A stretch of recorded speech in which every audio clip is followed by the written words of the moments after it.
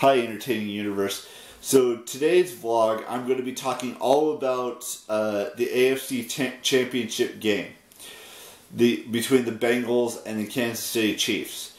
There, I wanted to talk about the other matchup as well, but I'm not going to go into it because I don't want to jinx anything or you know say anything you know that could um, be a bad uh, thing for me. So I'm just going to talk all about the um, the AFC title game. Now, I believe it's going to be a back and forth game between you know Joe Burrow and him passing to Ja'Marr Chase or whoever he may be giving the ball off to.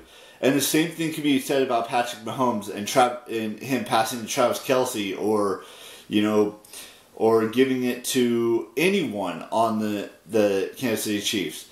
It, it's going to be a back and forth game. I don't know who's going to win. I, I mean, it, it could go either way. It could be Joe Burrow has has like a 400 passing uh, day, and you know handing the ball off to his his um his running back. He could be. It could be. It could be like a blowout game between both teams. Now, what I want to happen is probably not going to happen, but I'd like to see the can the the um, the Cincinnati Bengals go back to the Super Bowl.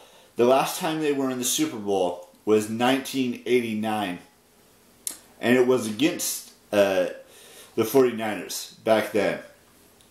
They, those two th- those two teams have faced off against each other three times in Super Bowl history, and and it's just Kansas City is a great team. Do not mistake me for saying that just because I'm picking the, the Bengals does not mean that the Chiefs can't win it either.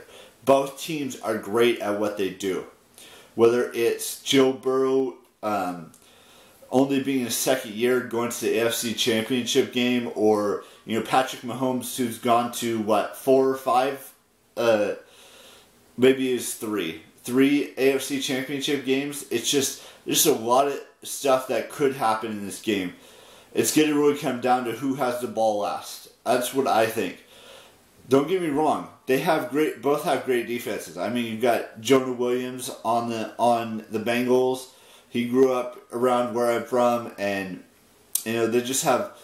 It's just it's going to be interesting to see which team comes out on top on in today's AFC Championship game, whether it's the Cincinnati Bengals or the Kansas City Chiefs.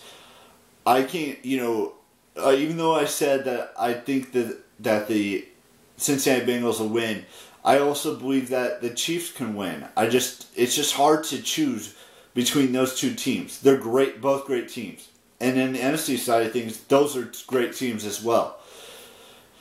It's just that's just who that's the only vlog, the only uh, thing I'm going to talk about today's vlog. I mean, there's other things I could talk about, like uh, finishing all three John Wick films. I just finished the.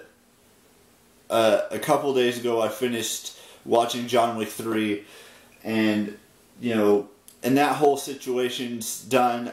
You know, I've watched a bunch of movies. I finished, the other day, I finished um, watching Umbrella Academy. I started to watch, rewatch Shadow, Shadow and Bone, and so far the first episode of Shadow Bone was really really good, and I recommend watching Umbrella Academy even if you have seen it. Rewatch it, rewatch both seasons, um, and just because it's a great show. And Shadow and Bone so far, I'm only two episodes. I'm only in the second episode of season one, which is the only season they have. And I'm at some point I'm gonna watch Euphoria season two. There's like three episodes out of season two on HBO Max, and there's just a bunch of stuff that I could watch that I probably should watch, and you know, do all that stuff.